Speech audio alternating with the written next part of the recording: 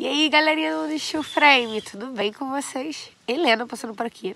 Tá chovendo! Tá frio, como vocês podem ver. Tô toda cagada de gesso, faz parte, a gente tá fazendo a parte interna. Mas eu tô aqui fora agora e eu quero mostrar pra vocês como é que ficou a nossa fachada, ok? Com placa de 10 milímetros de espessura tá? E sistema Base Coat da Sto de acabamento. Ficou super legal. O Base Coat é aquela argamassa flexível, né? O da Sto vem em pó.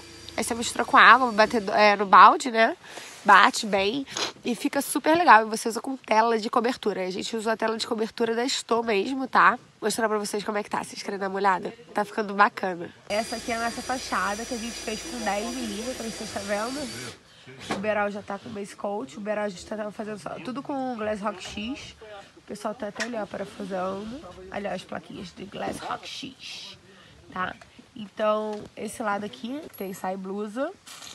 Ele é com placa de 10 milímetros, você tá vendo? A gente fez esse desenhozinho aqui do rodapé. E da, o desenho da sai blusa com as placas de 10 mesmo. Bacana, né? Aqui nessa fachada aqui é chapa de 8, vocês estão vendo?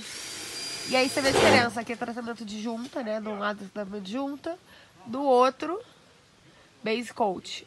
Aí vocês veem como é que a junta fica bem diferente, né? O tipo de acabamento. Depois, quando tiver tudo texturado, fica melhor para vocês entenderem.